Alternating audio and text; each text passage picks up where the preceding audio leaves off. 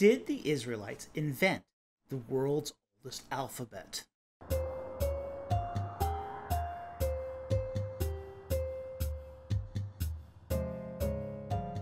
While scholars for a hundred years have agreed that the early alphabetic inscriptions were written in a Semitic language, this became an issue with the controversial book written by Douglas Petrovich.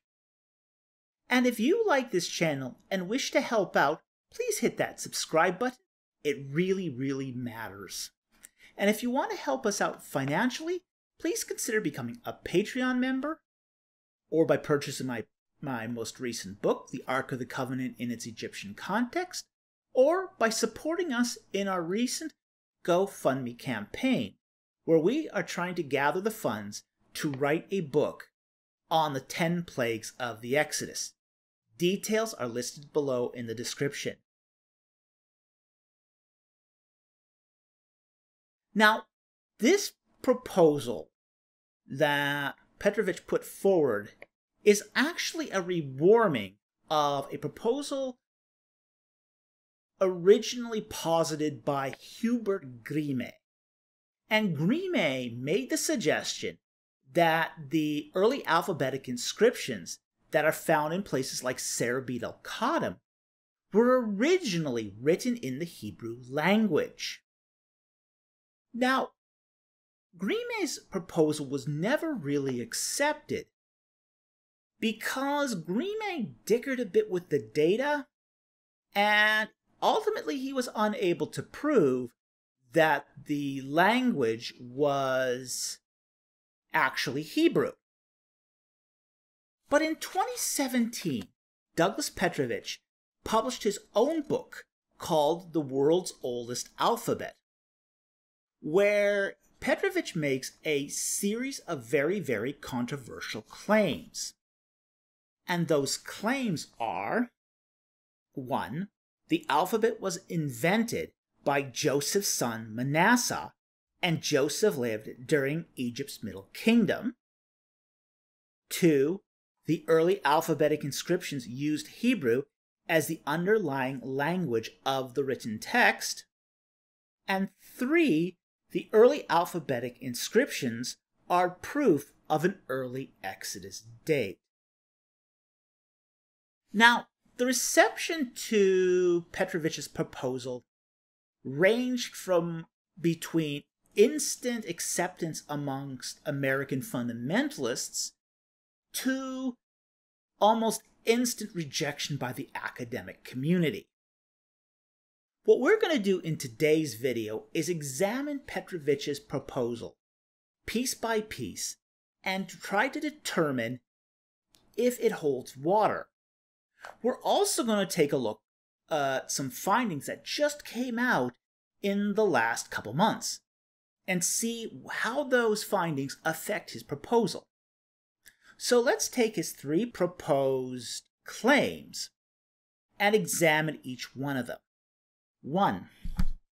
Petrovich has proposed that Joseph lived during Egypt's Middle Kingdom and was vizier under the Egyptian king Senwosret III, and that he had the name Sobek Emhat, and that Joseph's son, Manasseh, was really the Egyptian administrator Hebeded, who was brother of the prince of Rechenu, which is another name for Syria. Petrovich places this claim on the Egyptian etymology for Hebeded. The idea that Hebed is Egyptian that means hated, and because Manasseh was rejected as the son who was to be the heir, that he developed or took on this name Hebeded in adult life, and that the prince of Retjenu was really Ephraim. However, there's actually no proof that Sobek Emhat and Hebeded were in any way related. We have no documents, nothing to confirm that there's a blood relation between them. There is an inscription at Avaris referring to a prince of Retjenu. But the idea that Sobek Imhotep was related to him is sterile conjecture. But even worse is that the full name Hebeded is actually Hebededim. There's an M on the end. This is an indication of what's called Semitic mimation. This means that Hebeded wasn't actually an Egyptian word, an Egyptian name. It means it's a Semitic name that was brought into Egyptian. This is an important detail because we would not then not expect an Egyptian etymology for Hebeded. So then, what is the etymology of this? Well, it actually comes from a very, very common Semitic word, Eved. Now, difficulty here might be that Eved begins with an ayin and Hebed with a round H. But this isn't actually unusual.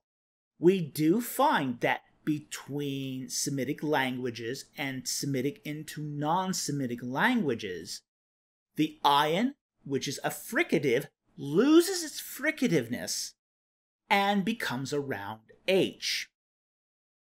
We see this as Semitic languages are brought into, say, Akkadian. That happens. So, in this particular case, we can we can see that the etymology of Hebeded actually comes from the word Eved, which means servant. But this also further raises the question of the etymology of Joseph's Egyptian name. The scriptures tell us that the name of Joseph was Zaphanath Pa'ank, Pa'ank being a recognizable Egyptian form meaning the living one, the one who lives. Pa, the Ankh, life or living. Sobek Emhat is not a good equivalence for Zaphanath Pa'ank. The two are in no way etymologically connected. So I think if the scriptures tell us that Joseph's Egyptian name was Zaphanath Pa'ank, then his Egyptian name, as we find it in Egyptian texts, should be something similar to that. Not Sobek Emhat. There is no etymological connection between the two. Essentially, what Petrovich has done is he's plucked two names out of history and tied them together without any reasonable connection. And I think that's a problem for the first part of his hypothesis, his first claim. His second claim, whether the early alphabetic inscriptions were Hebrew. Like Grimme, I think Petrovich fails to establish his case here. Semitic languages are very similar. It is virtually impossible to differentiate one archaic Semitic language from another.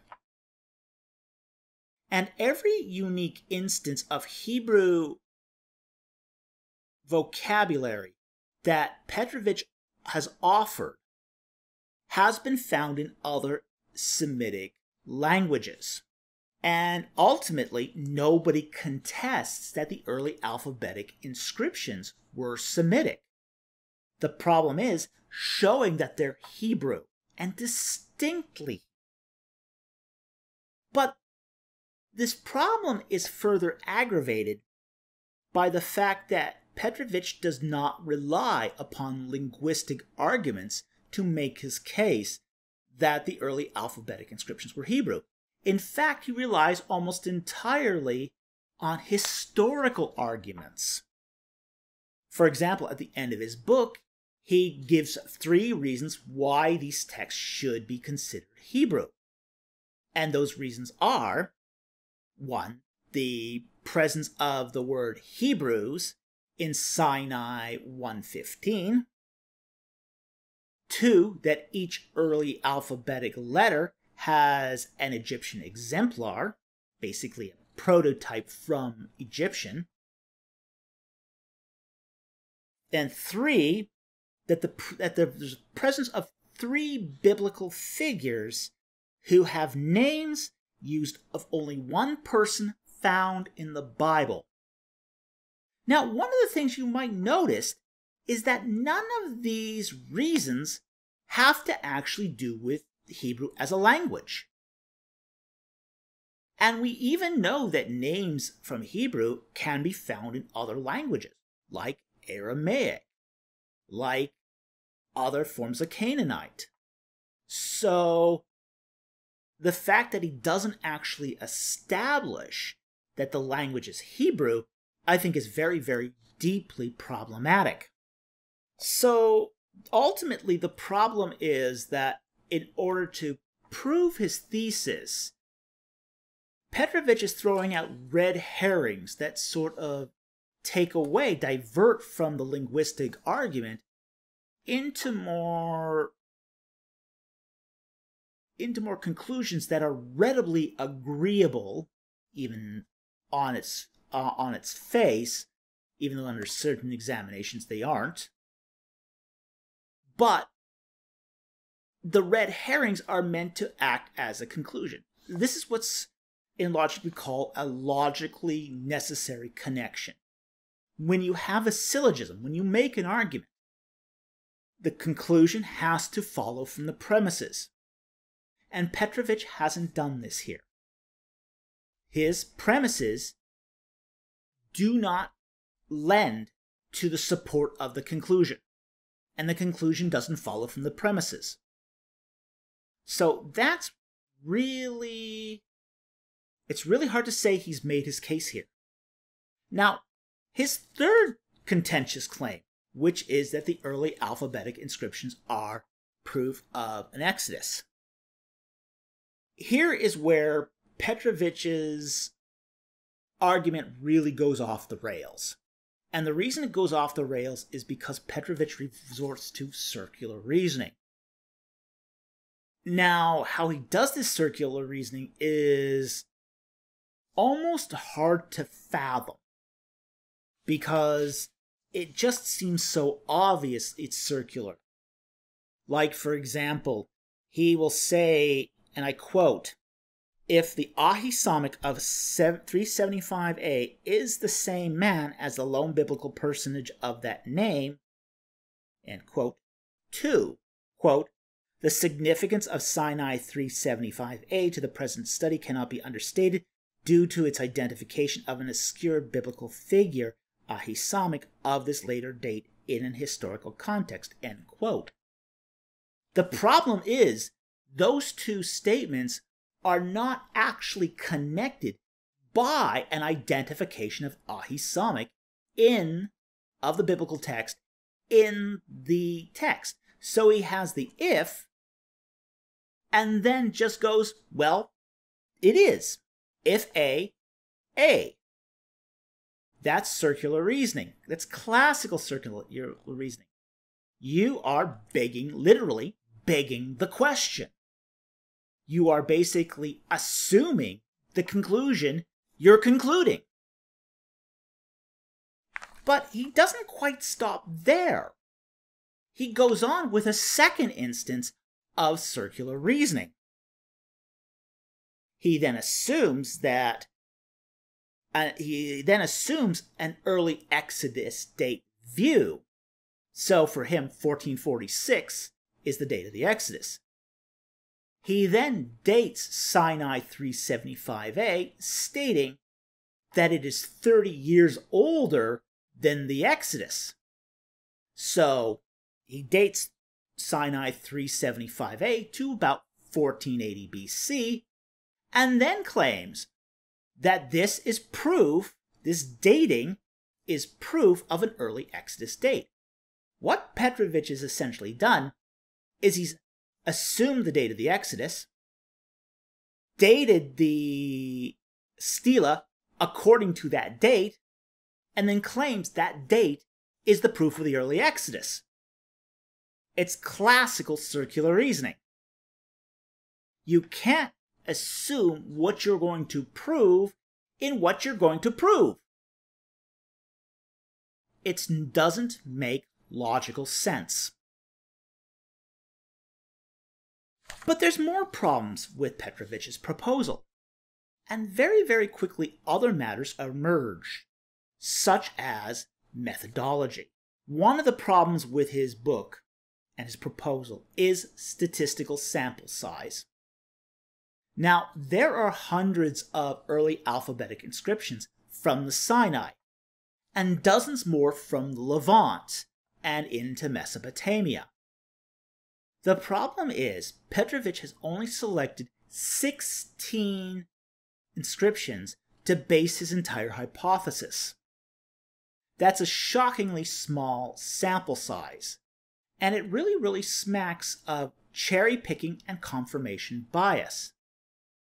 But there's another problem with his view also as far as methodology is concerned. Petrovich describes his epigraphic method as taking publication photos, that is, photos that have been published in a book, magnifying those photos to 400% in Microsoft PowerPoint, and then tracing over the magnified image. Now, the problem with this methodology is that publication photos are downsampled. That means the resolution is reduced for publication. So what's happening is he's taking low resolution photographs, blowing them up by 400%, and then tracing over the blur. This would make the images so blurry that essentially Mr. Magoo can see whatever he wants in them. This is a method that no modern epigrapher would recognize.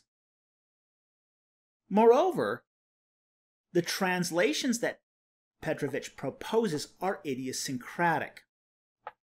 And Petrovich has even admitted in his book that he has had to forego the normal rules of Hebrew to read some of the Hebrew names in these texts. Well, this raises the question that if he is not reading according to the rules of Hebrew, is he reading Hebrew? This makes his translations more akin to the early translations of the Ebla texts, where the translator scanned through the letters looking for biblical names he recognized, not actually doing proper scholarly translations. But given these problems, is it possible that the Hebrews still could have invented the Hebrew alphabet even if Petrovich couldn't prove his case? Well, just a few months ago, an important discovery came out of Umm el Marra in Syria. A early alphabetic inscription was excavated in situ, that means dug up in its original archaeological context from a tomb that dates to the early Bronze Age. This pushes back the invention of the early alphabetic inscriptions to 2450 to 2300 BC, hundreds of years before Joseph came to Egypt. So, while the early alphabetic inscriptions may have originated with other ancient Near Eastern writing, this actually bolsters the claim that Moses could have written the Torah in an alphabetic text because the alphabetic text would have been around for a thousand years before Moses. But what this discovery also does to the claim that the Israelites invented the alphabet for Hebrew is it makes that proposal dead in the water. There is no way that the Hebrews could have invented the alphabet if the alphabet was invented elsewhere hundreds of years prior. So, where does this leave the early alphabetic inscriptions?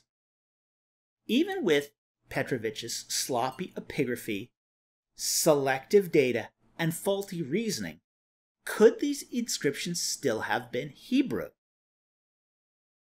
If one properly considers the epigraphy at Serabit el Khadim, it is clear that the early alphabetic inscriptions had more letters than what we find in Hebrew. The stele do not mention the people that we find in the Bible, which, if there is interest, a future video might be done to walk through some of these inscriptions line by line. In short, scholars aren't really sure what language the early alphabetic inscriptions were written in. However, it is highly unlikely that that language was Hebrew. Anyway, I hope you enjoyed this video and you found it interesting and educational. Thank you very much for watching, and I will see you next time on Ancient Egypt and the Bible.